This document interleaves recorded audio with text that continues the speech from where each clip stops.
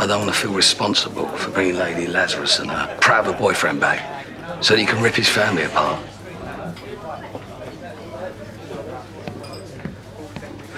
Let's go. See you later. See ya. Yeah.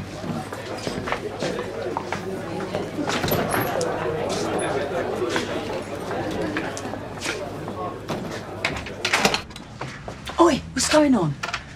Bobby's just stormed in, all upset, uh, and he won't tell us what's happened. He Didn't get into a fight, did he?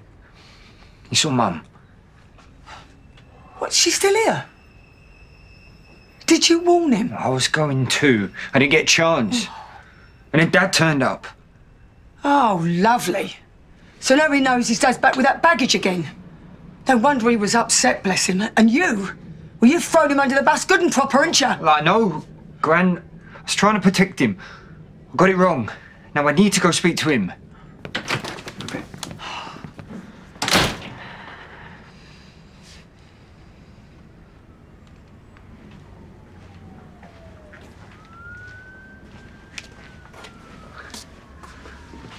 Sorry, Bobby.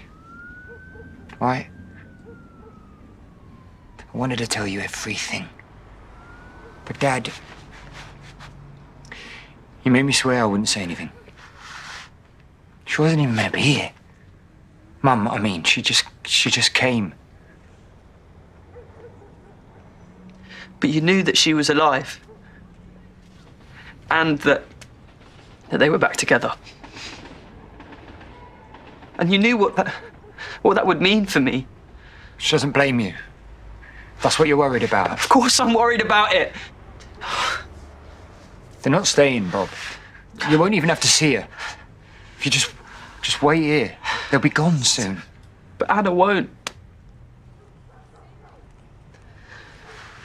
You told her about Lucy. She already knew.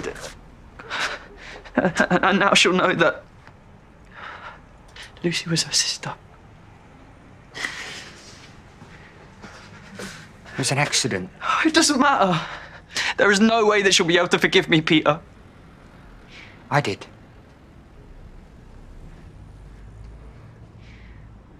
And on that night, the night I left, those two lives collided the night I found out she was dead. I can't believe we had a sister. Two sisters. The one who died was called Lucy.